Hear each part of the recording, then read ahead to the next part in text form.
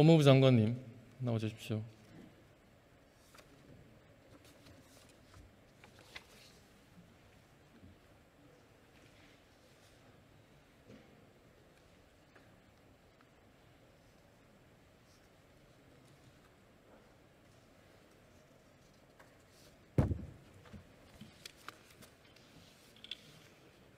오늘 아침에 우리 여당의 핵심 의원이 라디오 인터뷰에서 추미애 장관 보좌관이 부대에서 전화한 것은 사실인 것 같다고 이렇게 인정을 했습니다. 그렇지만 법무부 장관님은 여전히 모르는 일이라 이렇게 말씀하시고 있습니다. 맞습니까?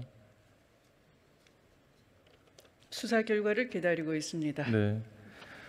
저도 역시 올해 2월까지 보좌관을 했습니다. 제가 보좌관을 좀 해봐서 아는데 국회의원 보좌관이 의원의 의사와 상관없이 의원 가족과 관련된 일을 독자적으로 개입하고 처리한다는 건 거의 불가능한 일이고 정말 거의 99% 있을 수 없는 일이라고 저는 감히 말씀드릴 수 있습니다. 그리고 오늘 언론에 그 장관님께서 정치 자금으로 따님이 운영하는 그 식당에서 기자들과 그렇게 식사를 하셨다고 그렇게 그 기사가 나왔는데 아까 전에 거기에 대해서 말씀을 하셨습니다만은 참 일요일에 나온 기자들이 꿈은 소망은 빨리 집에 가는 거라고 저는 알고 있습니다. 그래서 기왕이면 먼 곳에 가지 않고 요 앞에서 먹자, 이 국회 앞에서 먹자 이게 일반적인 행, 행, 행위고요. 그런 경우 그런 그 행태를 봤을 때 이태원까지 가서 식사를 하는 건 참 흔하진 않다라고 생각을 합니다. 혹시 그 이태원에 간 기자들한테 뭐, 뭐 특별히 이태원에 그 식당을 가게 된 이유나 그 식당을 누가 운영한다 이런 말씀 하신 적 있으십니까? 참.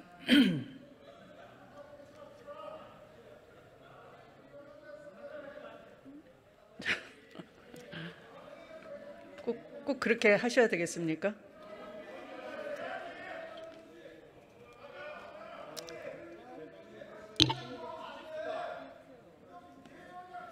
국민 정, 국민들이 우리 의원들에게 정치를 잘하라고 준 돈을 자녀 호주머니에 넣었다 이런 비판도 일각에서는 있고요. 또 그 이태원 같은 그런 좋은 곳에서 그런 식당 창업은 아예 꿈도 못 꾸는 그런 청년들이나 예비 자영업자들이 많이 있습니다.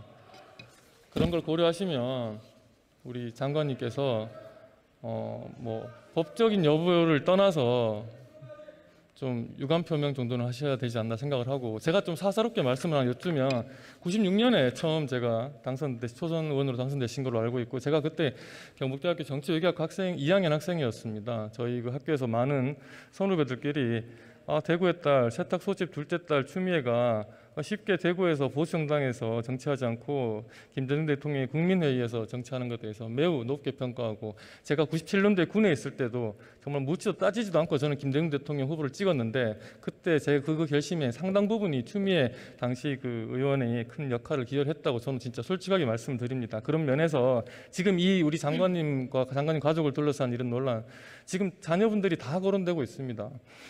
여기에 대해서 법적인 사실관계 여부를 떠나가지고 우리 국민들에게 특히 우리 젊은 젊은이들에게 다시 한번 좀 말씀 오늘 대정부 질문 사실 야당 의원 마지막 순서인데요 한 말씀 해주실 수 없으신지 묻고 싶습니다.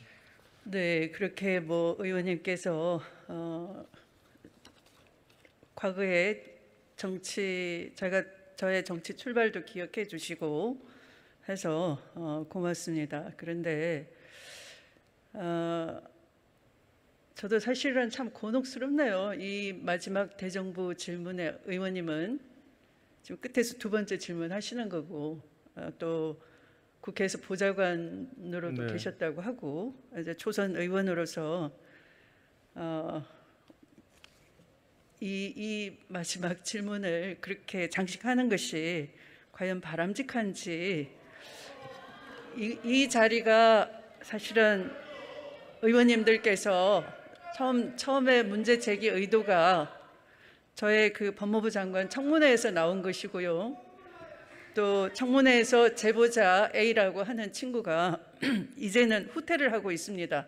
그리고 본인이 직접 제보한 것이 아니라 본인은 어, 다른 CDE한테 얘기를 했는데 그 CDE가 어떤 주간지 기자한테 발설을 하고 그 다음에 제보자 A가 법사위 관사인 김도읍 의원과 전화로 연결이 돼서 여기까지 왔다 이렇게 제보자는 어, 발뺌을 하고 있는 상황이고요.